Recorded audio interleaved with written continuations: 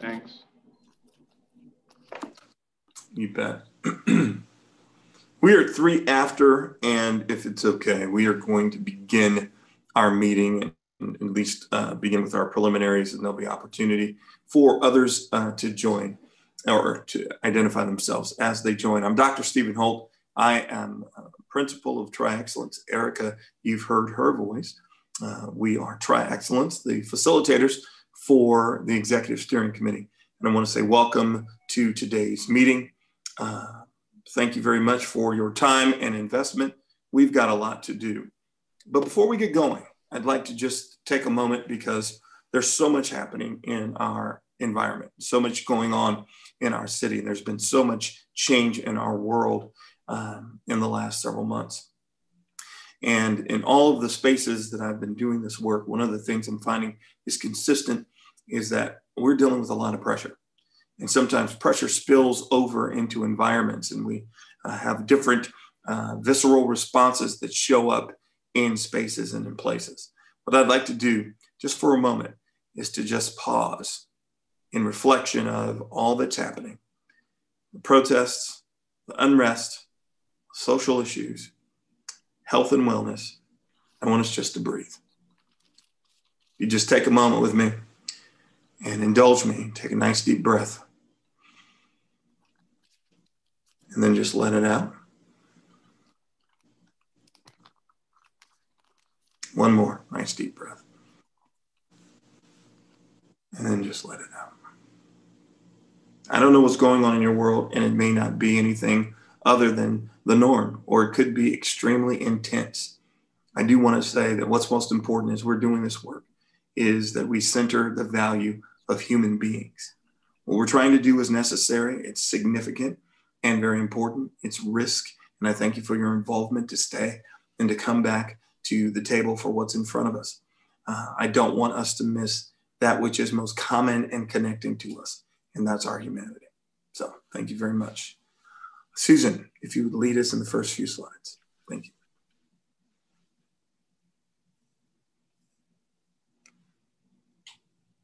You may be on mute. Pardon me, I thought I was on, I thought I was off mute. I'm uh, just gonna do a really quick review so that we all can uh, work together well in the Zoom space. And then just want to provide a little bit of information for the folks who are joining us as attendees. So things that you might be very familiar with for those that are um, on video in the room, the ESC members, as well as the facilitators and, and um, ODOT and others who are supporting them.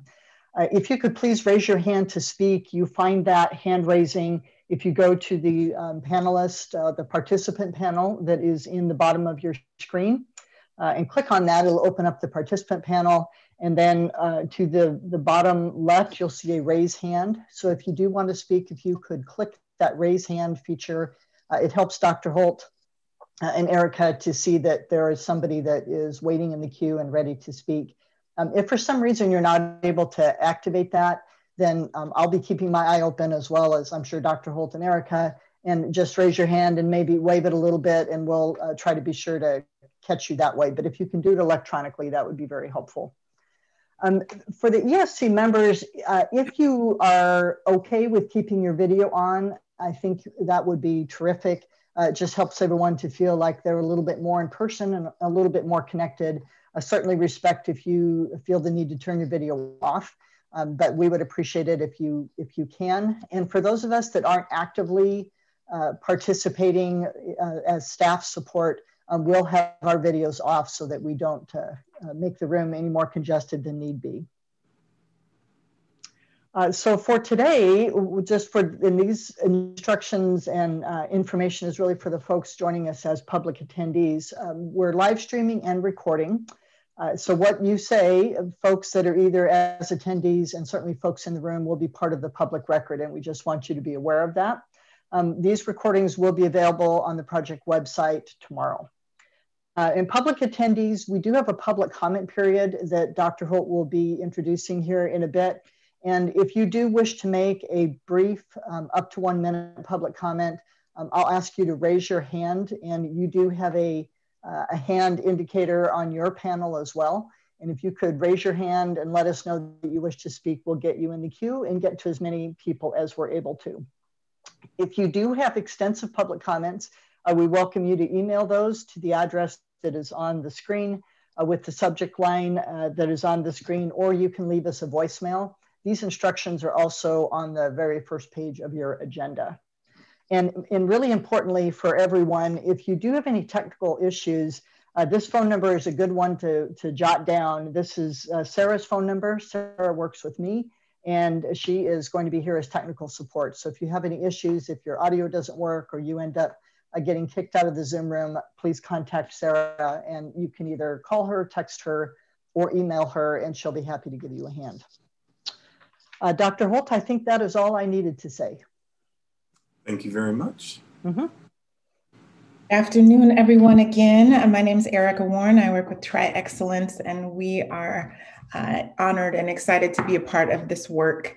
And today, uh, by way of introductions, um, I'm going to first um, have uh, Chair Simpson introduce himself and give words after that, because this is a public meeting, just to make sure that we have all of our executive steering committee members on record. Uh, once we hear from Chair Simpson, I will just be calling on you at that moment. Please unmute yourself and uh, give us a brief introduction just to check your mic at that time. So uh, as we move forward, um, Chair Alando Simpson, we'd love to hear from you. Introduce yourself and any words uh, you'd like to share today. Great, thanks Erica and thanks Susan and Dr. Holt for the intro. Um, again, for the record, uh, Alando Simpson, uh, Vice Chair of the Oregon Transportation Commission and chair of this executive steering committee uh, for the Rose Quarter Improvement Project. And um, uh, really, I guess in a nutshell, um, a couple of comments just wanted to throw out, you know, we're, we're gathering back together and I think I just got verification we last met back in June. Clear, clearly, a lot of things have happened since June. Um, and um, with all that said, other than just since June, but this entire year to date, um, obviously as human beings, one of the most resilient species on Earth, on Earth, we're going to continue to move forward. And um, and for as it relates to this project and everything we've been doing here, we're just you know looking forward to picking out where we left off at. Um, we're not going to restart anything. Um, we're just really going to continue to move forward uh, work collaboratively and continue, continue down the path that we, we, originally started earlier this year and things that we've been discussing over the past you know year plus as it pertains to this particular project. Um, most of you are probably curious about um, uh, where things stand with uh, two of our partners who were originally at the table. Um, if you were to ask me, I would say that there are still conversations offline that are taking place and um, a lot of positive interactions obviously um, folks and organizations um, choose to take stances and go certain directions and everybody has the freedom to do that to convey a message or whatever it may be but at this point uh, we as a collective here uh, for the esc members that exist are going to continue to move forward and we have a job to do. And um, hopefully you know once those previous partners which i would still consider them partners uh, they're just not here at the table right now, um, find it in their best interest to come back and work alongside us, continue to move forward on something that we um, all aspire to be positive and forward facing and, and could be a model of a true multimodal transportation investment project, which could actually be led with equity. Um, we are going to be here with open arms, um, waiting for them to come back and work alongside us. As as we've all talked about before, this is much bigger than just a highway project. This is a this is a community development project. This is an urban planning project. This is a multimodal transportation project. This is a congestion project. There's a this is a economic development project, and um, and uh, I, I want to make sure personally that people realize that it's there's all these different pieces that tie into this, and, it, and it's not just one silo. And so uh, it's going to be up to us as a group to make sure that we connect all those dots so we can create something that is transformative. Um, lastly, um, you know, this I think is going to be a, a model and example of, of really how we do transportation in our region going forward. Um, this is a system issue It is not a one project issue. Uh, we have congestion and choke point issues all over the region and state for that matter. I mean, even along the West Coast, even our entire country lacks the infrastructure that's needed to provide mo mobility for folks um, to get from point A to point B. And so I'm really adamant about us kind of as a group working and thinking bigger and broader about just Rose Quarter, just um, and, and, and start thinking about how it is we actually create something that is a model and a transformative plan and process that not only other places around our region can adopt and learn from, but other metropolitan regions that are dealing with these same challenges, most of them do in our country, um, can, can learn from. And so uh, that's the thing that's really going to, um, you know, motivate me and excite me. And so um, let's let's go ahead and, uh, you know, put our own personal feelings aside and our personal motivations and make sure that we're working towards an outcome that is going to be um, filled with shared prosperity and that will be a conduit to help our future generations um, build up off what we can create here. Um, we are just at a point where we definitely need to modernize our regional transportation hurdles, choke points, and challenges. And I am going to be personally, as a representative of the Transportation Commission, leaning on all of you with all your insight, your intellect, your skill set, your expertise to help us move this thing forward. And um, this is just the this is just the start. and so um, I will turn it back over to uh, to uh, Erica, and I look forward to working alongside all of you. And um, here we go. Thank you. Thank you, Chair Simpson, for reminding us that this is uh, bigger than just one thing, that we uh, are tasked to do something bigger than ourselves. So quickly, I'm just going to take an opportunity to introduce each of you. If you would, as I call your name, unmute yourself, please just uh, introduce yourself, say here, and we'll move quickly uh, to the next person. Um, I'm going to start from the governor's office, Ms. Leah Horner. Good afternoon. I'm Leah Horner, um, Governor Brown's Jobs and Economy Policy Advisor, as well as Director Regional, Solu Director of Regional Solutions. Um, and I'm also uh, one of a couple interim transportation policy advisors in the office. Great. Thank you, Leah. I'm not sure he's joined us yet, but I'd like to just check Rob Camarillo from Labor. Okay, well, we'll move quickly. Maybe he'll join us shortly. Uh, from Metro, President Lynn Peterson. I believe President Peterson had joined us by phone.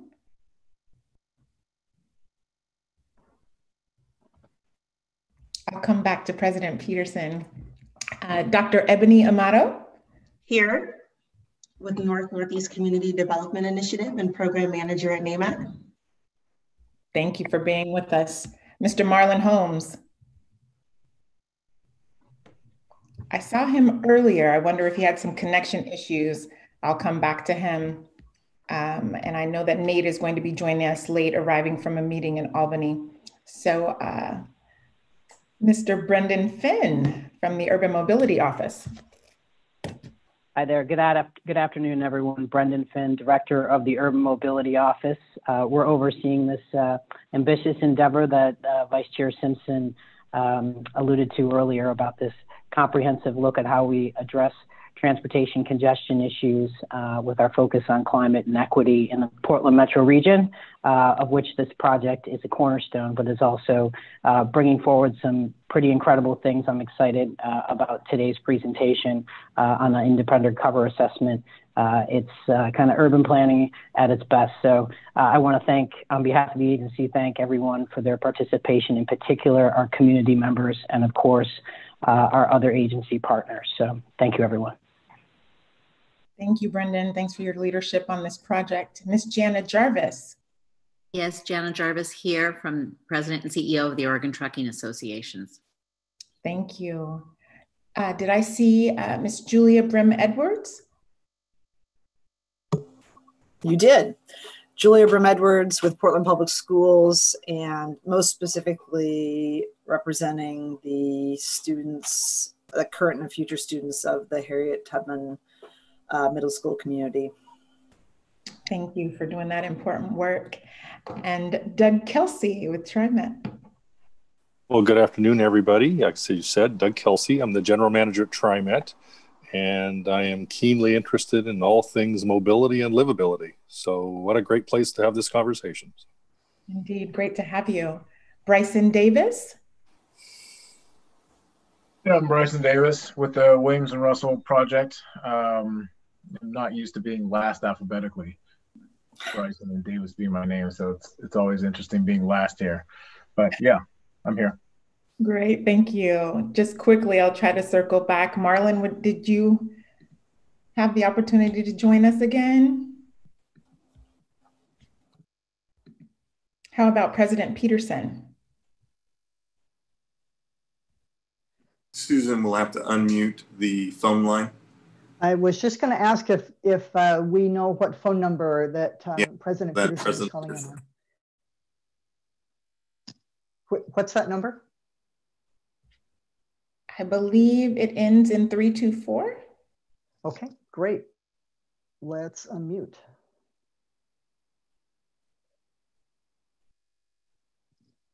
Uh, Sarah, can you unmute President Peterson? It's asking me to ask if we can unmute. Thank you. We should be good can to go. Everyone hear me? Yes, ma'am.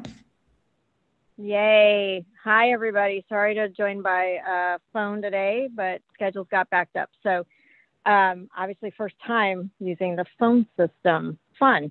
Lynn Peterson, Metro Council President, um, and Metro is proud to be part of this conversation um, as it stands with uh, looking towards the future build out of this part of our region that restores uh, justice to those who were moved out um, by the projects in this area. Thank you so much, President Peterson.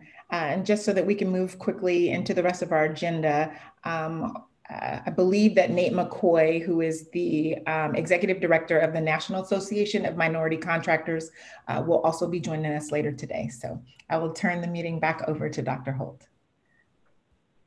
Thanks, Erica. Marlon's uh, having challenges with frozenness, but I appreciate it.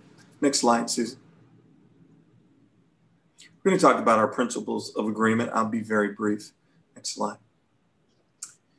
Your voice matters. Uh, I don't think there's any challenge with this group of speaking up and speaking uh, and leaning in to lend your voice. And therefore, we want you to speak your truth. And that just means to be authentic and genuine and present. And then listen for understanding. So it's also meaning that as you're speaking, and you're also open to hear. Uh, I think that our chair made it very clear that uh, there's robust conversation. We anticipate significant interaction. And the goal is the bigger picture than just our own individual issues. So number four means deal with the issues and not with the individuals. Uh, we are, our agreement is we will attack and, and tackle and address the specifics that we need to do so, but we want to make sure we do it in a way that's respectful and understanding, which leads us then into experiencing discomfort. The potential is that as we are being authentic and genuine and listening to one another, it may be uncomfortable, but we uh, expect that as part of the process. So our ask is that you remain respectfully engaged. That if it becomes uncomfortable and it becomes a little tense, that you don't add to that uncomfortability and or tension by making it personal. It's never that. It's always trying to work through the process. And then lastly, expecting and accepting non-closure. We didn't get here overnight and thinking we can change it overnight is not authentic, but we are committed to the change, which is why we're the, uh, in this Zoom together. So Thanks, Susan. Today, next slide. well, I will go to our public comment. Susan, back to you. Sure. Uh, so if we do have any members of the public who would like to make comment, this would be the time for you to raise your hand. So I am looking over at the attendees list to see if we have any hands raised. Um, if there are any of you that wish to make public comment, please raise your hand. And otherwise, if I do not see any here in a moment, I will hand it back to Dr. Holt. So just pausing. Does anyone wish to make public comment? Not seeing any hands, Dr. Holt. Thank you very much, Susan. Mm -hmm. We are going to go to our uh, director's update and uh, uh, program director manager is uh, it. Hey everyone, um, thanks for being here this afternoon. Uh, I'm Megan Channell. I am the project director with ODOT for the I-5 Rose Quarter Improvement Project and happy to be here with you today. Um, go to the next slide, Susan. Uh, so before I get into any specifics uh, on, on where we are, I think it's important to make sure that we're acknowledging the history of this area, particularly with restorative justice really at our, our foundational core as we move forward. So I want to acknowledge uh, on behalf of ODOT the harms uh, of people to color, especially to the Black community in Albina, past and present, uh, from ODOT's construction of the interstate highway system. We know that the original construction of I-5 through Albina was central to the unjust history, uh, the disconnection, the displacement of, of, Portland's Black community. And so as we partner together uh, to design and, and, build this project with the community, we have to work uh, to address these past harms uh, and repair the damage that was done. And with this project, I think as you've, you've heard uh, our chair today so eloquently say, you know, we're committed to doing this differently. We're committed to doing this by centering the voices of the Black community, working collaboratively uh, and openly to uh, ensure that we're creating a reconnected and rejuvenated uh, historic Albina. And we're committed to promoting communities where Black Portlanders and communities of color can thrive, um, both in the uh, short-term job opportunity creation that we have and the long-term outcomes that this project creates. And this executive steering committee, along with ODOT, um, I know that you've worked really hard to develop a set of values that will guide this project, uh, again, with restorative justice at, at its core. Um, and as we know, uh, you know, restorative justice really demands that the people that were harmed uh, by an action are the people who participate in the correction of that action and have the influence of those decisions and the outcomes and the benefits that we will see. So we're taking this action very seriously. We're taking this action, um, including with the formation um, of the Historic Albina Advisory Board that I'll touch on um, in just a moment here, um, and do this as we move forward. Um, and so I just, I really look forward to uh, continuing our partnership together so that we can get this project right. So as we move forward, uh, I do want to hit on the project schedule. Um, I know that uh, the project schedule, particularly uh, kind of the timeline of key milestones, timelines, and the sequencing of the different efforts are really important uh, to you as a steering committee and, and, to our community partners. So today I just wanted to uh, bring this programmatic schedule in front of you. Uh, in the interest of time, I'm going to focus on a few of the key milestones and I'm obviously happy to make myself available for subsequent questions and conversations on this as well. Um, but again, want to focus and emphasize that we're really early in this process. Uh, we still uh, have not made any uh, key design decisions. Um, we have the design concept, the framework at about a 15% design, and um, we're not yet at a point where we've made those design decisions. Uh, and so uh, in, in terms of the timeline, um, we'll start to move from what I call assumption land, where we are today, into decision making uh, really in fall of 2021 is when we start that process. So in the meantime, there's a lot of important work uh, to help us get there. Uh, first and foremost, there's the community input and process um, that you see with the different committees at the bottom of your screen, um, in particular this, this committee uh, and you, uh, and thank you for your, your um, you know, support and time that you're spending here as a steering committee member, uh, as well as with the new Historic Albina Advisory Board that we will be standing up um, and our Community Oversight Advisory Committee, uh, and then broader community engagement throughout. We're also actively uh, working with our federal partners at the Federal Highway Administration to complete the environmental review process that started back uh, in 2017, uh, and that's expected to be completed um, within about a month's time. And uh, as you know, uh, and many of you have requested, and as we've been directed by the Oregon Transportation Commission, We've also engaged uh, the independent uh, highway cover assessment team uh, to conduct an independent third party review of the highway cover design. Uh, and so this work will extend into spring of 2021. Uh, and just want to again highlight that that work is strategically being done before we get into the decision making component of the project design timeline, which again is 30% starting in fall of 21. Um, and so this work will help us uh, be able to advance um, that, that 30% design milestone, the project decisions. Um, and you'll be hearing more from uh, this independent assessment group uh, later on in your agenda. Um, last but not least, uh, you know, we're still expecting uh, construction to begin in 2023. Uh, and this construction schedule will, of course, be developed in consultation with our um, CMGC contractor or construction management general uh, general contractor. Um, and as I said, again, we'll be working very broadly with the community uh, throughout this process. So next slide. Speaking of CMGC, uh, I think uh, you've probably uh, seen the notifications around this, but since it's um, been a few months since our last meeting, just wanted to provide you with an update um, about the intent to award our CMGC contract to the Hamilton Sundt joint venture team and they are working in association with Raimore Construction.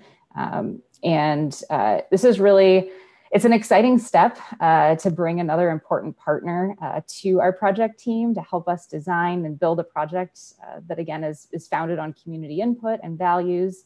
And uh, the CMGC process also marks a significant milestone for ODOT uh, in that we're taking this action to do business differently uh, for the first time in the Portland metro region, you know, we're, we're using the CMGC model. We're bringing the contractor on early in the design phase uh, and the contractor specifications that they're required to, um, to carry forward uh, also were developed in direct consultation uh, and with and with input uh, from the community. So um, an exciting an exciting process to kick us off and an exciting partnership to carry forward. Uh, and so the CMGC will really help us uh, with our community partnerships, uh, specifically helping us increase economic opportunities through the DBE and workforce program. Uh, the DBE goal for this project is one of the highest that we've seen at ODOT at 18 to 22% uh, utilization goal. And uh, it'll also help us uh, in bringing the CMGC on early in our design process, just help us optimize uh, innovation early in the design process and uh, help us manage and reduce our risk as we move forward.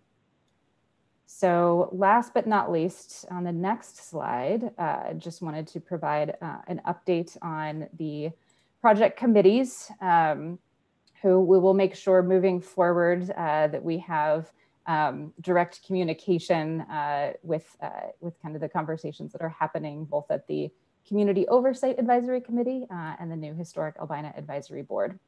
Uh, so I want to just draw attention to the Community Oversight Advisory Committee uh, and just let you know that we've made a shift in the role of that committee uh, through you know, coordination with our members. Uh, they were pivotal in helping us develop the CMGC specifications. So again, the really the, the rules and requirements of our contractor moving forward um, helping us inform uh, and, and, and push forward that strong and robust DBE goal moving forward. Um, with those specifications set, they're now going to shift to being an oversight and accountability body. Um, so that community voice that's working directly with us at ODOT, directly with the CMGC um, to, to make clear community expectations um, and work together with us in partnership uh, and how we meet and exceed uh, the goals for the project. Uh, and then we also uh, did make a change with our community advisory committee. Uh, we uh, have sunsetted the community advisory committee uh, to instate a new board uh, that again is centering our values on restorative justice, centering the voices of the Black community um, to create a historic Albina advisory board. They'll continue to serve the same sort of mission and role as was envisioned for the community advisory committee, but that new membership to make sure that again as we're moving towards a project that is going to benefit those who are historically harmed that that that the that the historic albina community is centered uh, in those uh, design decisions. And i think that's a um, uh, for the historic albina advisory board that's also going to be the first place where a lot of the design discussions are coming. Um, so that as they get to you as a steering committee to provide that direction uh, moving forward. It will have um, gone through our Historic Albina Advisory Board, and you'll be hearing it um, with their recommendations uh, included. So with that, um, that concludes my project uh, director's update today, and happy to answer questions now. Uh, or Dr. Holt, I'll defer to you in the interest of time if, if we should collect them and I answer them later. Thanks, Megan. I appreciate it. Uh, if there's any pressing question, you can indicate so by the raising hand function. Otherwise, we will definitely circle back. Excellent. Well, we will keep going. Um, we're going to talk a little bit about our charter and governance. We've spent quite a bit of time in one-on-ones, and thank you very much for being willing to talk through charter and values with me. Uh, also, the discussion has been taken further to the PMG uh, level of conversation, which includes ODOT, Metro, PPS, and TriMet, uh, to support this conversation so that partners have the opportunity to really weigh in, think through uh, charter issues, governance issues, and the values that we're going to make decisions around tonight. It really shouldn't take us too much time um, because we've done much of this work to come into this space. So the thing I'm going to ask, if you could go to the next slide, Susan, is here are the components of the charter as they stand. It gives the overview of what the charter is and what, it, what the expectations are, the charge, the membership, decision making, roles and responsibilities, operational agreements, and of course, uh, expanded around in the charter itself. But here are the six elements of the charter. Uh, I would ask if each of you are prepared as a member of the ESC uh, to make a, a, decision to say we accept and agree with the charter as it stands and we want to move it into action. Um, if you have a question or concern, then I will have you uh, identify that as we go around. And so my simple answer, my simple request would be is if you are in agreement with the six components as identified and are ready to move forward with standing the charter up or putting it into place, you'll simply say yes or no or ask your question as I call upon you. All right. And I'm going to go to Chair Simpson. Uh, yes, Dr. Holt. Thank you very much. Dr. Amata?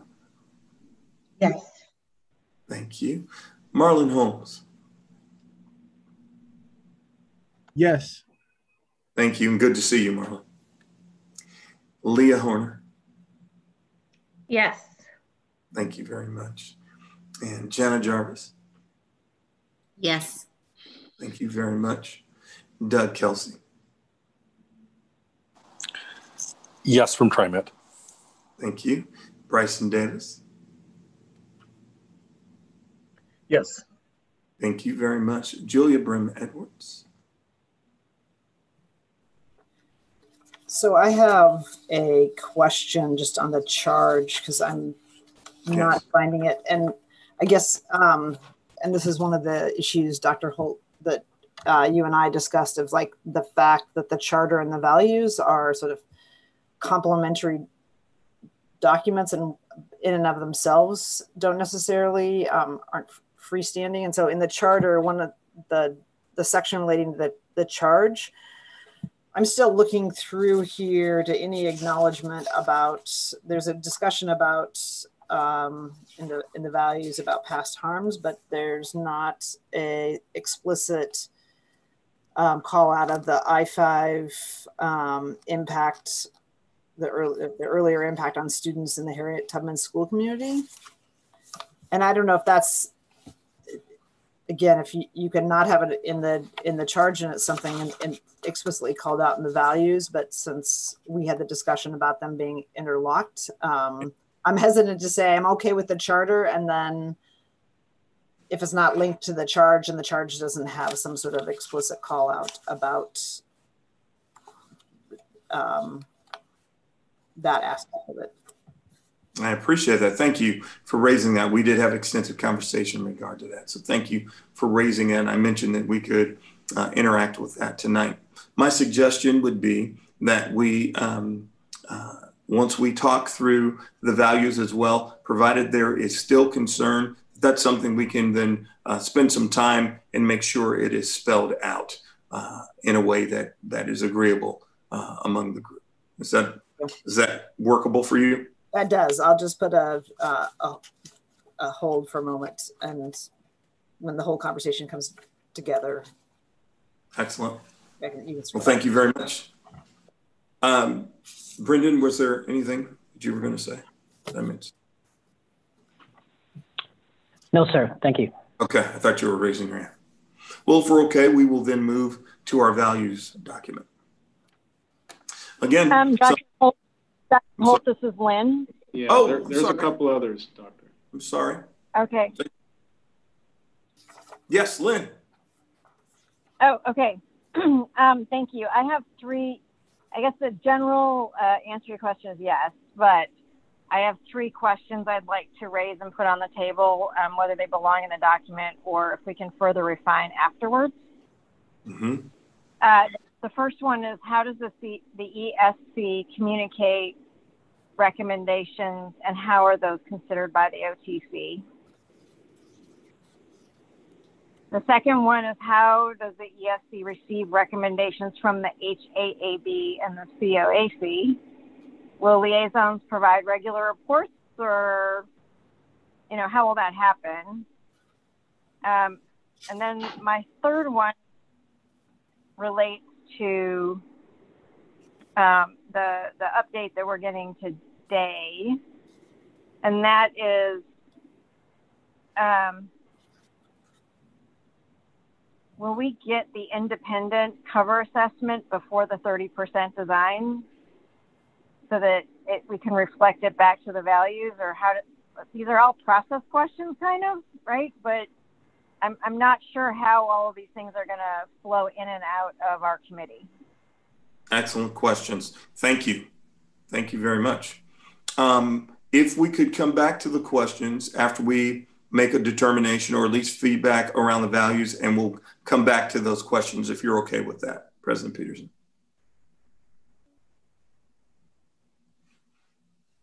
Are You still there?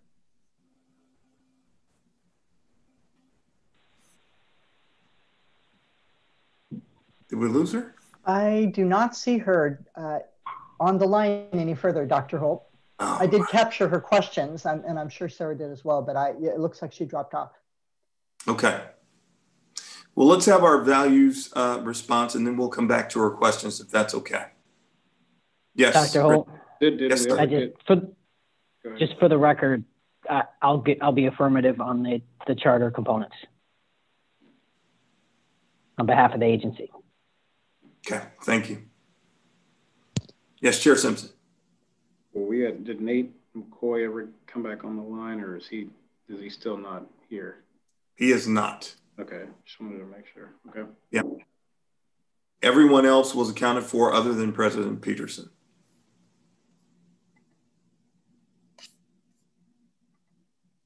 So let's proceed to our next uh, aspect, our values document.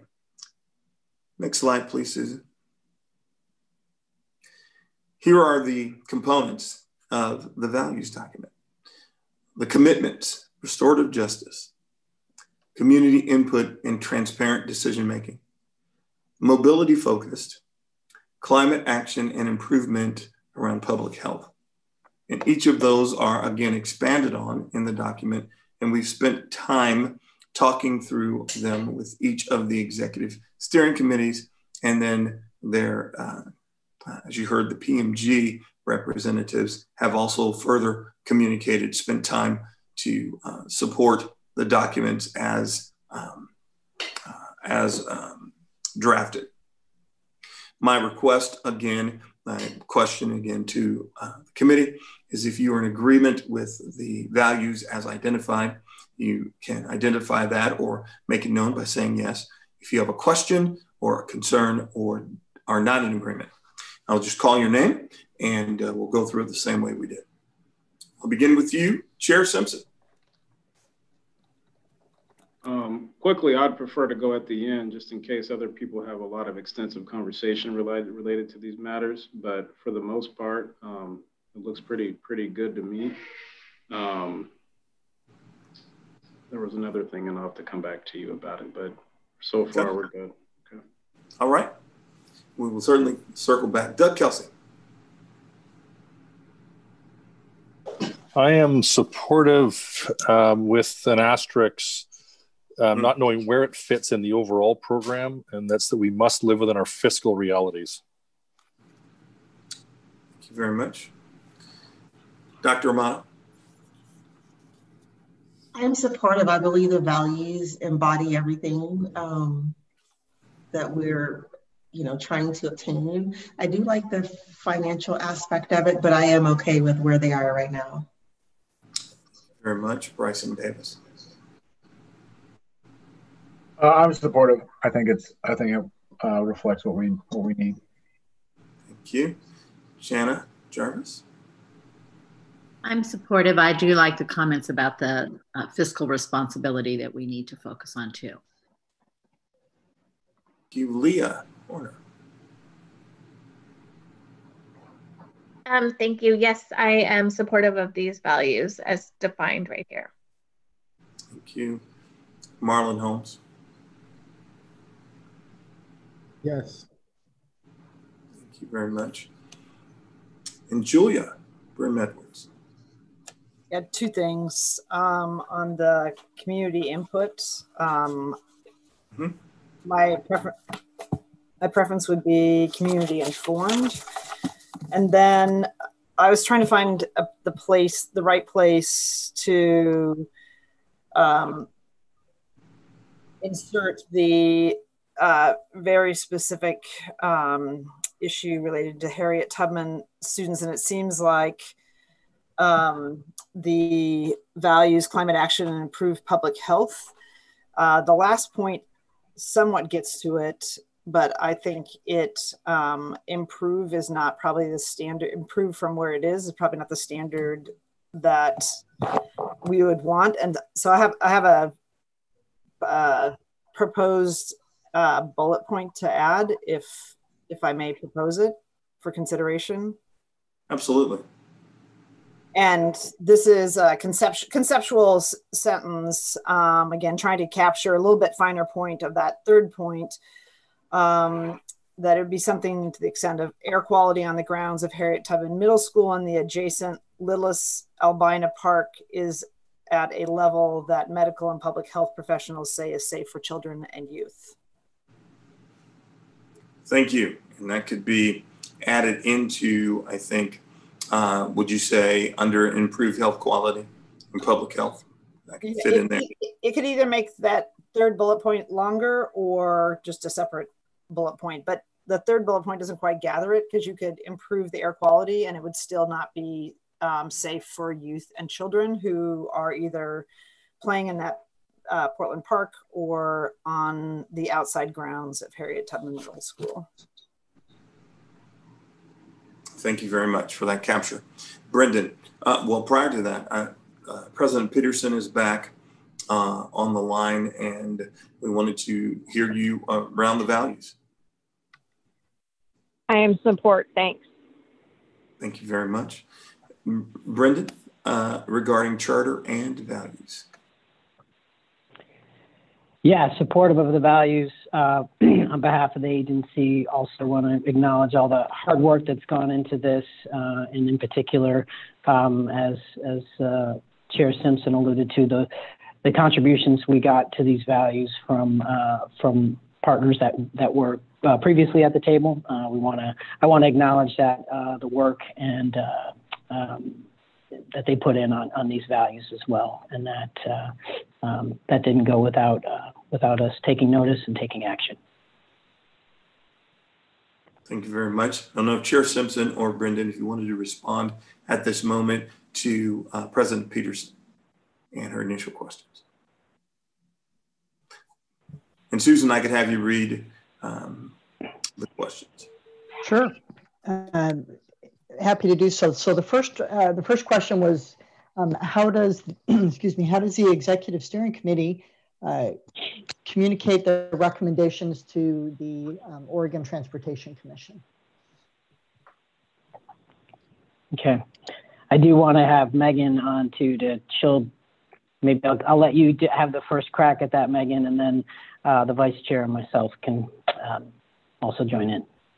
Sure. Yeah. Um, so I, I think with with uh, our ESC Chair Simpson and OTC Vice Chair Simpson, uh, he definitely will be um, helping us serve um, as uh, as uh, the connection between ESC and the OTC. Um, but the the OTC uh, will be as they're um, making any decisions or taking direction um, or giving direction on the project. Uh, will be done based on the uh, feedback, input, recommendations from this group. Um, and so the conversations, again, as I mentioned earlier, starting with the Historic Albina Advisory Board uh, as their you know, design related uh, decisions as an example, uh, we'll go to that board first. Uh, we'll then come to you as an ESC to provide um, the, uh, the recommendations and then communicated up to the uh, Oregon Transportation Commission. Um, I'm sure I myself as the project director uh, will likely uh, continue to give regular updates to the OTC um, and carrying that forward. Um, so that's, that's, that is the, that's how we'd be communicating the recommendations forward.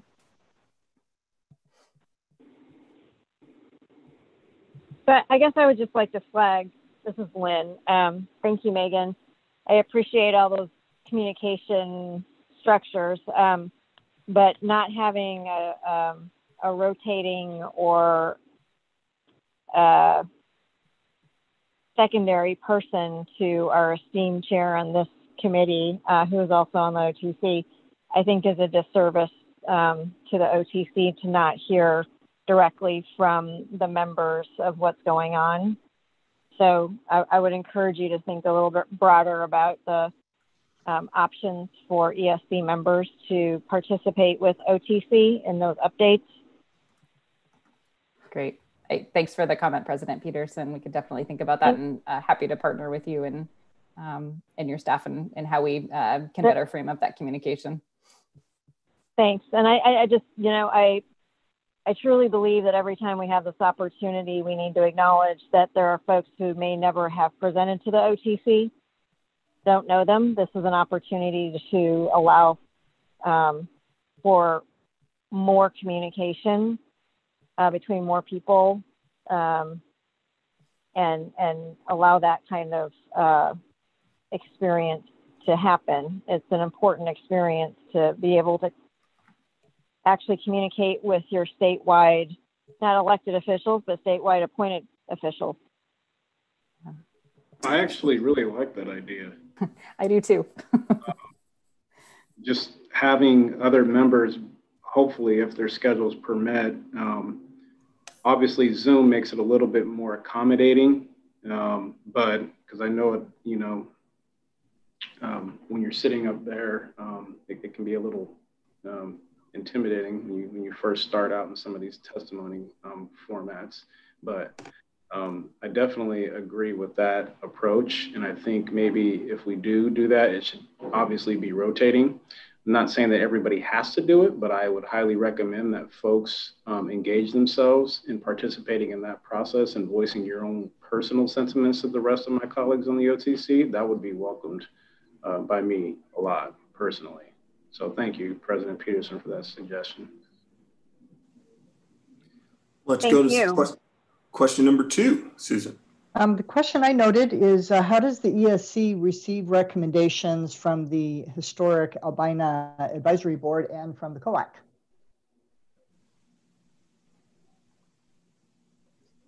Again, I'm going to ask Megan to, to address that first. Sure. Um, so the we uh, the plan was to have the facilitators of the Historic Albina Advisory Board, as well as the COAC, the Community Oversight um, uh, Advisory Committee, uh, join us in uh, future ESC meetings to provide uh, those updates uh, from the group to make sure that you are, are hearing that communication um, and really the um, the community input as you again are are making your decisions and recommendations. So I guess I would just second my last comment and um, again, um, unfiltering information and having uh, representatives be able to come and directly address the ESC would be helpful, besides the facilitators, which can give um, a good up uh, 60,000 foot level summary of what happened, but it would be nice to hear from the, the community members themselves. Great. Yeah, it's a good another good suggestion, President Peterson. And then question number three, Susan. Unless I'm sorry, unless unless Brendan or Chair Simpson wanted to weigh in there. Okay. Question number three, Susan. All right, um, and I understood this, uh, President Peterson, to be a, an update question, and that is um, as far as the cover, the independent cover assessment process, um, will the ESC have an opportunity to weigh in on that before 30% design? Yes, and the answer is yes. That work uh, is happening now, and looking forward to the presentation from the team today to kick it off. Um, but that'll be completed, President Peterson, in spring of 21, whereas 30% design is fall of 21. So there is um, the there is that time in the schedule to complete the highway cover um, assessment prior to 30%. Thank you. Much appreciated, everybody. Yep. Thank you. Um, can I can I plug in real quick? We're at four o'clock. We're scheduled for 4:30. Just an FYI. Um, and I don't know if others have the same circumstances, but I have a I have a five o'clock pickup for childcare. Just a FYI. Thanks, Jerry. Up, but yeah, I, I, I, it's, it's Doug from TriMet. I have a 430, 431 commitment, so I'm kind of hardwired at 430. So, thank you, appreciate that. Um, well, thanks for the discussion around um, the charter and values, and as we always know, that uh, the best laid plans you can anticipate something will be brief and then it is not. So, uh, in light of that, uh, two things. One is based in the feedback that was given around the charter with the additional um, comments. We have uh, supported it and moved it forward. And then also with the values, uh, with the additional comments, uh, supported it and moved it forward. If there are further conversations and or questions, we certainly will entertain that and circle back around for uh, discussion. Yes, Doug.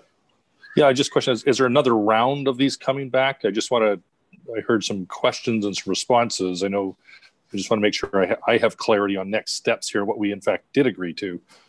Um, you will be getting all of the updated commentary and get a chance to look it over. Hopefully, you and I can actually secure a one on one so we can talk through some things prior to the meeting. It would be amazing to be able to do that. So then we can make sure that when we gather, uh, we're prepared. So uh, we will be circling around with the information that was added and making sure that uh, all things are clear for everybody. Perfect. Thanks so much. Thank you. Dr. Holt, just briefly, I wanted to make you aware that Nate McCoy has also joined our call. I see. I'm looking at his wonderful face. Hi, Nate. How are you? Good to see you. And Dr. Holt also just wanted to note that I did capture uh, Julia Brim Edwards' bullet, but I, I, might be missing a couple words. So it would be helpful uh, offline or whatever would be appropriate. Just we'll circle back. back. offline. We Perfect. had a 55 minute presentation prepared and, uh, or I should say, uh, presentations uh, planned for the uh, independent highway um, covers. And I'm going to now defer to Sam. And Sam, uh, obviously, we're pressed on time. My apologies in that regard. The conversation was necessary to, to vet, but we put it in your hands, sir. Uh, thank you very much, and good afternoon. My name is Sam Imperati. I'm a local facilitator, and this afternoon my capacity is that of the independent cover process assessment facilitator. Uh, we're with you uh, today uh, to provide a presentation that's designed to give you a preliminary overview of the cover evaluation and input process we are uh, suggesting for moving forward. We want to start uh, from the get-go with clarity that you, the ESC, are our client, not ODOT. You drive this process. And the next slide shows us our agenda uh, for uh, today, in which I'll just quickly walk us through. So um, we have with us the, uh, the prime contractor, ZGF architectural firm, and uh, Nolan Lienhart will describe our team that makes up um, extensive uh, numbers of, of consultants. Uh, he will describe our scope, our general process. I'll talk a little bit about the importance of our independence and to that which is in our contract and that which we are committed to as professionals. One of our colleagues, Stephen Lewis from ZGF, will talk about the values and outcomes uh, based upon your decisions today. And finally, there'll be an opportunity for in-depth um, discussions moving forward. We'll be back with you on several occasions asking for your specific guidance and input on our substantive work.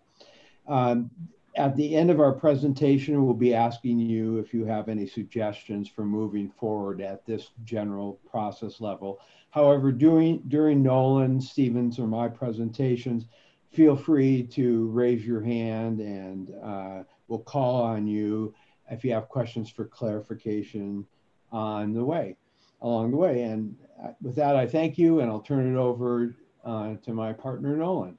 Nolan, take it away. Thank you, Sam. Uh, so with apologies in advance if we move quickly, uh, we do want to make sure that we leave enough time um, for all of you to um, chime in if you have questions. Um, so I'll introduce from the start. Um, Sam mentioned um, ZGF is the prime consultant on this contract, um, and uh, we have a core team of subconsultants including uh, Arup, focusing on uh, technical analysis and assessment uh, HR&A focusing on real estate um, and financial elements of, of our effort, and then ICM, uh, Sam Imperati, our facilitator. Uh, we've broken up our projects into design, engagement, governance, technical, and then of course um, the core assessment. And so uh, those core team firms each uh, will take responsibility. Uh, we also have Melk Landscape Architects supporting uh, the design team as well as Swen Ho Design. On engagement, we have Swen Ho Design and Christine Rains uh, supporting the engagement side. And then um, Leland Consulting Group supporting HR&A and the governance uh, tasks. And then KPFF uh, and Toole Design Group uh, supporting Arup on the technical analysis. And then Olmsted and Terry Hayes Associates uh, supporting Arup and ZGF on the assessment tasks want to touch um, very briefly on our scope, uh, what it is, why we're doing it. Um, the we have you'll this will look familiar it comes directly from your values and outcomes uh, why we are here and it's um, as sam said um, you know the esc is our client on this uh, we are intending to be responsive to uh, the ESC and the work that you uh, have done and the work that the organizations you represent have done. And so rather than recite this, I know you've all spent some time with it. Uh, we just wanted to reiterate that, that our why is the same as your why in terms of why we're here. Um, getting more specific to our independent assessment, there are three questions that the OTC has asked us to study. Um, the first is how can this project serve community aspirations on the highway covers and areas immediately adjacent to the highway covers within the area of potential impact as defined in the EA? The second question is what modifications to the current design and configuration of the highway covers would be needed to reflect a broader community vision for the development of the project area? And then third, are there architectural and engineering considerations to feasibly promote economic development and growth potential consistent with the community's vision? So those are the three uh, questions that really form and shape our work. Um, and as part of that, um, the uh, OTC uh, RFP that we responded to established a number of scenarios that they would like us to study. Um, the first, which we would call the base case, is the um, uh, concept put forth in the NEPA environmental assessment. Uh, we will then develop two additional scenarios, one of which would be limited to the area of potential impact as described in the NEPA environmental assessment, and then a second that may extend beyond that. And so it's sort of one's in and one may extend beyond. Uh, once you've seen those, um, the ESC has an opportunity to direct us to create a third scenario uh, with criteria to be established by, by you really. And we'll talk a little bit more about that um, in this meeting and others. So um, walking again quickly through our process, um, we've talked a little bit about um, the relationships between different groups, but this is a diagram just showing for our assessment, uh, our reporting structure. Um, we have uh, the agency project director will uh, assist with contract management uh, through OTC for our work. Uh, we also have a committee called the uh, Highway Covers Coordinated Committee, uh, which consists of staff uh, from ODOT and Metro and Portland Public Schools. Uh, to help guide on a, a fine-grained basis um, our schedule and, and our different aspects of our project. Um, you can see that center straight line, the ESC um, is providing um, direction to us, and that, that should be very clear. Uh, we will also be um, uh, keeping the HAAB, Historic Al Albina Advisory Board uh, informed, and we will be soliciting advice from them. Uh, their input will be critical um, as voices of the historic uh, Black community in this area. And then we will be having community uh, workshops and um, meetings with stakeholders potentially as well um, to get targeted uh, feedback and make sure that we're hitting the people that we need to uh, hear from. Um, we also, just because we know that the ESC is um, uh, engaged in the full range of um, uh, the project and our effort is not, we just wanted to show how our effort relates uh, to the broader uh, project um, structure. So I won't spend too much time on this, uh, given uh, that we're a little bit short on time, uh, but I mentioned the ESC is directing our work. Uh, and, and this is also in, in your charter, this information on this slide, so I'll, I'll move past it quickly. Um, the Highway Cover Coordinating Committee, uh, as I described on the last slide, um, is really helping to um, be responsive to us, really support our work, um, provide information as we need it uh, so that we can make informed um, uh, recommendations and, and study. Um, but ultimately, they are supporting our work and uh, ESC is directing it. The Historic Albina Advisory Board uh, will be very valuable advisors bringing the voice of the community to us and particularly the voice of the African American community. Um, I, I, should have mentioned we have this icon um, down here, if you can see my mouse, uh, where it says work sessions. Um, our project is going to be shaped around work sessions, which we'll describe, but just in case you were wondering what this is, it's describing the components of a work session, uh, which is one ESC meeting, one HAAB meeting, and two community workshops um, and the community workshops. So these are intended to be um, uh, like an open house, like a project open house, where there's an opportunity both for community members to understand uh, the work that we've been asked to do, to share with us their perspectives about what com community priorities are uh, and what uh, positive outcomes are that might um, come out of the, this process. Um, they will be online in this case, uh, and we're going to uh, use a number of methods so that we can still have collaborative and engaging meetings with people uh, where we are not just speaking to them, but we are offering opportunities for them to speak, opportunities for them to make observations about this area and its potential and its shortcomings and its needs. Uh, we will summarize these uh, community workshops and present that to the HAAB so that they have that information as they consider our work and give us feedback. And then we will wrap up the community workshops feedback and the uh, historic Albina Advisory Board uh, feedback and present that to the ESC so that you have that uh, knowledge when you're making your recommendations to us. Uh, and then finally, I mentioned that um, there are potentially stakeholder group meetings, uh, and these are a contingency task in our contract, but we recognize that not everyone may be able to make community workshops. Uh, either due to the time of day or the format or their feeling uh, about you know how how well they're able to engage in a workshop setting um, there may also be groups that have um, particular um, knowledge or experience that we want to do a deep dive with them. And so we have the opportunity, um, if we all agree that it's something that's important, um, to identify a number of groups that we would do direct outreach to, be that focus groups uh, or special meetings um, to gather their, their thoughts and, and feedback. So this is our process and milestone, and I and I apologize that there is a lot of, of content, but um, we were told that um, this group would have great interest in how events are sequenced and the relationship. Um, so I, have got a couple slides following this to describe the work sessions, but um, suffice it to say, we are here at the big red dot uh, here um, having our ESC introduction to you. Uh, we will have three work sessions, the first of which will really be focused on um, demonstrating and sharing our understanding of the project area, uh, the, pro the NEPA EA project as it stands, and um, uh, based on the work that ESC has done and its different partner organizations have done, uh, presenting a draft of an evaluation framework for how we can evaluate both uh, the environmental assessment and the scenarios that we would then create. Uh, we would have an opportunity to get feedback about those things uh, and then refine that evaluation framework before starting to develop uh, scenarios we would develop two scenarios that we would bring into work session two. Again, one that is within the footprint of the area of potential impact, and then one which may expand beyond it. Uh, we would get feedback about that. Uh, we would understand how well those are serving community needs and interests uh, from the community workshops, from the HAAB, and then from the ESC. And then we would get advice on how to improve those. Uh, we would also hear from the ESC at that time whether we need to create a third scenario, uh, and, and you would give us direction at that time.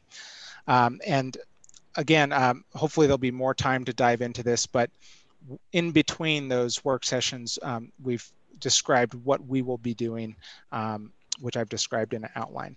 At the end of the process, uh, the ESC would make a recommendation to the Oregon Transportation Commission, which would then uh, decide how to direct the Rose Quarter um, Improvement uh, Project team. Uh, so here are the questions that we anticipate uh, asking at the different work sessions. Uh, the first is focused around listening and assessing, um, verifying community values and desired outcomes, uh, understanding what constraints and opportunities might guide the creation of our scenarios, and then really uh, verifying what metrics should be used to measure success. Work session two uh, is themed ideate, generate, and that really is where we start to throw out some ideas. And we may hear that some of them are great and people love them. We may hear that some of them aren't as great and people hate them, but it will help us to refine and improve uh, the scenarios that we present uh, and to help the ESC shape a recommendation on a potential third scenario. Work session three uh, will be sort of the final evaluation, uh, but also an opportunity for refinement both of the physical concepts, uh, but also issues uh, around uh, financial uh, and operational partnerships or tools that would be needed to finance and implement any desired improvements that we have drawn. Um, and then finally, again, uh, understand how well does each of these scenarios serve the community vision and outcomes. So um, Sam's going to now talk briefly about what do we mean by independent when we say independent cover assessment. Uh, thank you, Nolan. So in a nutshell, um, both professionally and contractually, we are obligated to ensure that we are not to be influenced by ODOT and outside sources.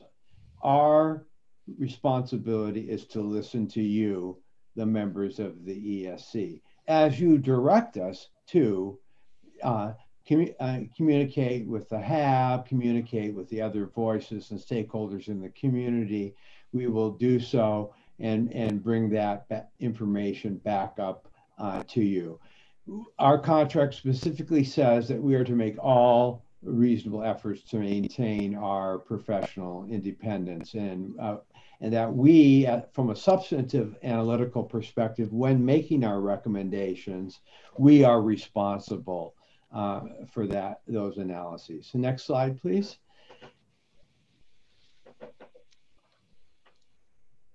And um, I have a rather unique role um, in this process, and it was uh, quite intentionally negotiated.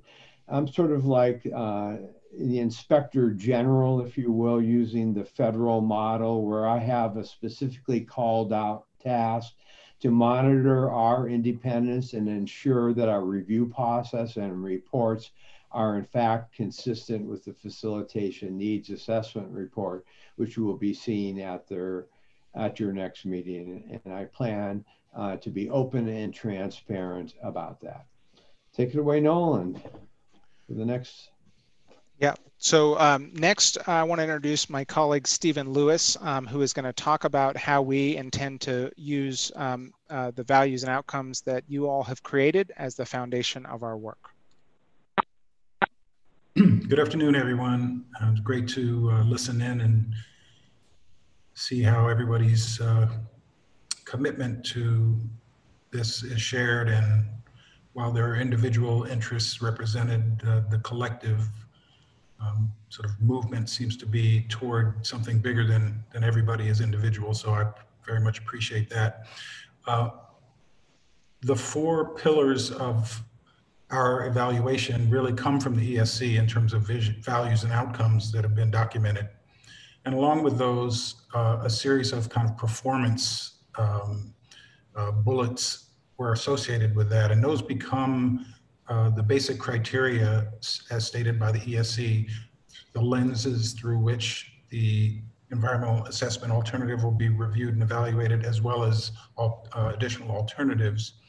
Um, the integrity of our process really relies on the transparency and use of data to drive the information and the decisions. And to that extent, there's been a plethora of, of communiques, uh, memos, uh, other plans uh, that we've been scanning and scouring and pulling out the critical uh, requests, demands, what have you, that fall under those basic values and outcomes as stated by the ESC.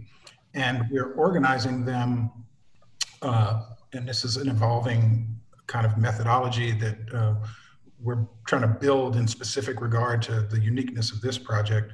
I wish it really was unique, but we can look at so many cities around the country that have had erasure of Black communities at the hands of the Federal Highways Act and so forth, but it's a whole nother lecture. Um, in this case, each of our consultant team members has a lens through which they're looking at the project. Um, Terry Hayes and Associates and Olmsted are looking at social cohesion. Uh, we're looking at the urban design. There's um, uh, two other, you know, appropriate lenses, and each of those consultants will populate our tool with items that we have discovered through our professional practice on this that may not have been uh, generated in, uh, by either you or the other communications that we've been mining in. So together we'll have a very holistic picture of the uh, needs and, the, and the enhanced values and outcomes for the project and allow this tool to help guide ultimately the decision making. So we look forward to the opportunity to, to present that to you all at a future meeting and get your input and that will help refine that tool and then you'll be very familiar with it as the process continues toward that ultimate uh, recommendation. Thank you, Stephen. And uh, next up is our discussion. And before um, I call on you, I'll uh, simply indicate if you haven't heard already, we will be contacting each of you individually to have a one-on-one -on -one to sit down in depth in detail. Uh, so you can give us uh, your specific feedback, excuse me, uh, on, on the process and um, methods for proceeding. With that said, I'll open it up uh, to comments and questions from members of the ESC. Doug. Hi, this is, this, this is Yeah, Lynn. I just had, uh, oh, go ahead, Lynn. Oh, Doug, do you want to go ahead? No, you go. You go first. I'll go after you. okay. I can um, me- I can mediate this for you if you'd like. Thank you, Sam. You do a great job at that. Um, uh, I guess my question is two. There's there's two parts to it. The first part is if it is our role to provide you guidance. Um, there are a lot of decisions that have already been made um, in order to get a ODOT contract and scope. So I feel, um, well, we, we, you know, we've all maybe had a little bit of, of discussion about this. It, it's not, um, not something that we had up front as a group um, to go over your scope, right? So I feel at a di- slightly at a disadvantage already. Um, so I guess my question is, how do we, how do we put the quote oversight of your independent study back in the right position, which is after you have a contract from the contracting body that you're supposed to be independent from, how do we put that empowerment back into the ESC? That's that's the first part. Um, and then the second part is in maybe an attempt to uh, not just gain information with the one-on-ones, but also to provide the opportunity for you to continue to be independent um, I'm not looking for you guys to tell us how you how you want to do that necessarily. Although recommendations would be great, but I think it's depend. The ESC should really think about how how do we actually make sure that, and I'll put air quotes around protected, that you are protected in order to be able to carry on an independent assessment and not have backlash against you um, because it's it's different than what had been anticipated prior. So, so I think. Oh, go ahead. I'm sorry. Uh, no, so I just I it's I think it's your your input on both of those would be helpful, but I think the ESC needs to have some sort of some sort of facilitated conversation with you to get to those answers, right? Right, and that was going to be my suggestion that we work with Dr. Holt and Erica offline uh, to sit down and talk about this and, and work it out and to see to what extent, if any, the ESC as a body would find it helpful that our roles and responsibilities are laid out in your charter. There's many other um, options. That's one. No, I'm looking for a little bit more participation and proactive uh, something, not not just uh, a sentence in a in a. I'm looking for a um, a little bit more proactive governance on this, so that that we are assured that you are assured that you have the protections you need to be independent. Perfect. Doug, I think you're up next. Yeah, no, actually, thanks, Lynn. Uh, this kind of gets a bit to the question I was going to ask. Uh, is really around the governance of the independence. Um, so I, I do. I, I either I need to understand what that looks like personally a bit more, particularly as it connects to the ESC or to OTC, whichever where it's going to go. Um, I think it's the what you said is it's at ESC. It does not relate to OSC. Within that, though, I do have a question around your or your team reporting any relationships of influence or conflict. I've been around other independent assessment uh, uh, mechanisms before, and that governance oversight I think is is really important.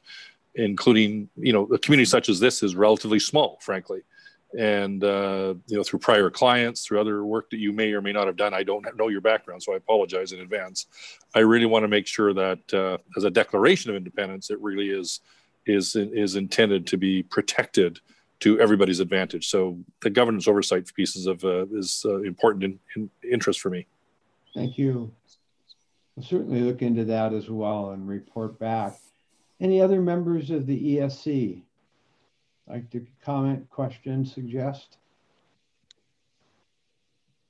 I guess I want to. This is Nate McCoy, NAMAC, Oregon. Uh, I want to dovetail on kind of what Doug and Lynn both said, and and and I think I, air my my comment more on the community side.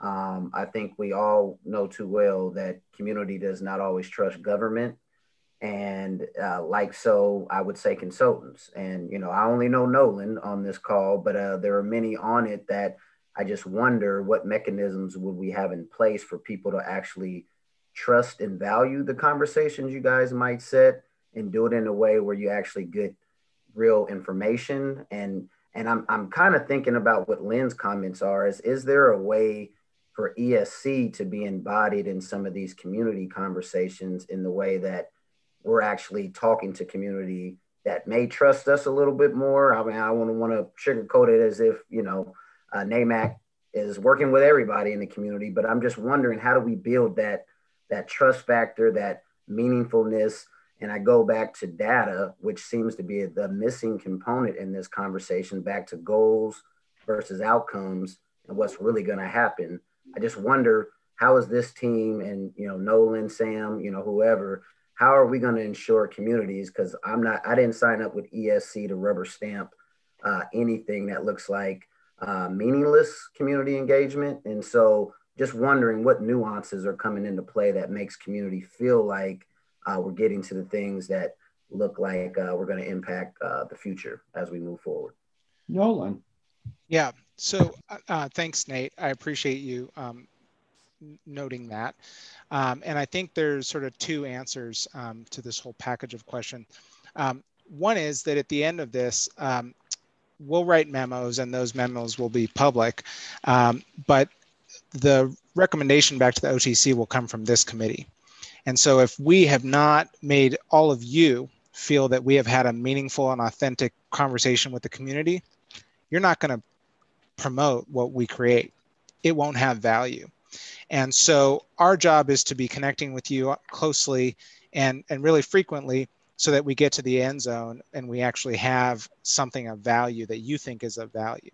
Um, if we don't, and you say, you know, my friends, family, and constituents don't feel that you have had an authentic uh, engagement and that the product doesn't represent the true aspirations of the community, we will not have done our job. So that's that's the first, and and we will rely on on all of you to be checking in with us every time we see you about whether we've done that and and hold us accountable to that. Uh, the second thing I would note, which which uh, in order of our process comes first, is that um, our intent was and is um, really to check in with many of you who have those deep community connections and get recommendations about who we should speak to and how we should speak to them. And so um, your question is perfect. Uh, we haven't had all those one-on-one conversations with you yet, but we will. Um, and I think you received an email to that effect last week. Um, and so uh, we already know that our process of outreach is incomplete because we haven't yet have those conversations with you, but I appreciate you bringing it up. Um, Dr. Holt, I'm, I'm cautious of the time, so I, will I'll ask you if I ask for one any last call, or would you like to take over for the rest of your meeting? Thanks, Sam.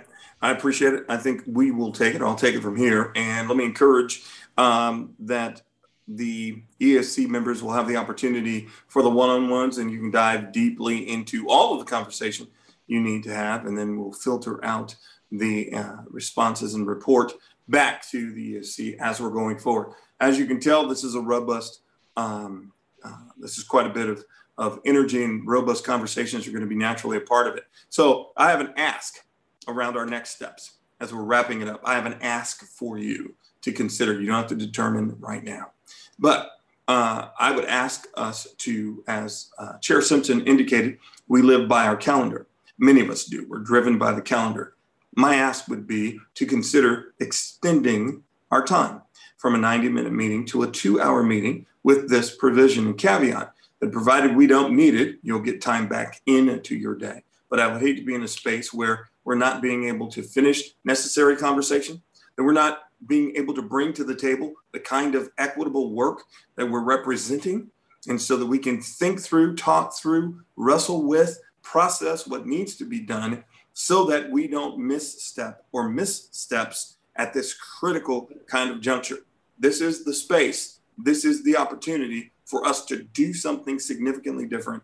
And my ask would be that we consider more time uh, to make sure we do that than less. A 90 minute meeting Dr. Holt, I, I, I think you're onto something, but I would personally push back a little bit on that one because yeah. I think the fact that we were reconvening today, we probably ate about 35, 40 minutes off the clock on just intros and backdrops. So I think now that we have those big clunky things kind of out the way, I don't think we probably need to do like intros every single meeting. Um, but um, if we have obviously agenda items. I know, and then obviously this was a big agenda item. So absolutely, um, I think I think the key here is just ensuring that we concisely get the agenda items out beforehand, and we get through intros and kind of the the you know, obviously we got to we got to dot some e uh, dot some i's across some t's on the values and and the other elements that you presented earlier, but I think we shoot one more time at 90 minutes and then we see how that how we manage that clock. And then if we need to expand on that, then we go ahead and pivot based on you know everybody's availability. But I wouldn't want to just immediately just jump onto two hours like that because I know that that's that's that's a lot of time for folks. Yeah, it's it's Doug. I, am trying it. I I very much support Alando's comment. I think the, we're doing some storming, norming, forming at the front end, mm-hmm. and that naturally takes some time. But I think if we um, continued the rigor um, in uh, meeting management, I, I would suggest staying with 90 minutes um, and uh, uh, manage accordingly. I'd rather have more meetings.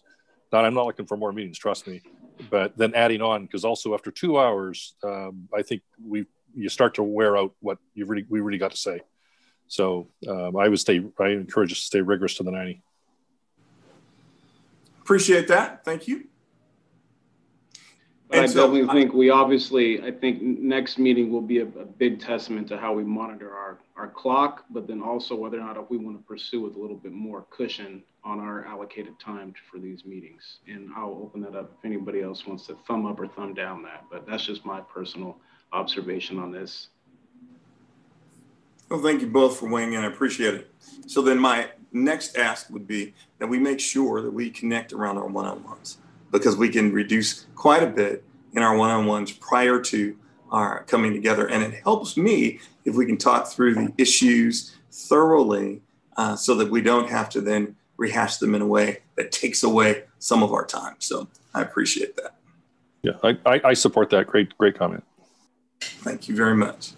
All right, our next steps then is uh, I think everyone has on your calendar, and hopefully you do for the rest of the year. And we're planning on the fourth Monday uh, from this time, from 3 to 4.30 in our meetings going forward. So, and you will be getting um, calendar invites. You will always get the information of the meeting and the, the Zoom login the day of uh, as a reminder.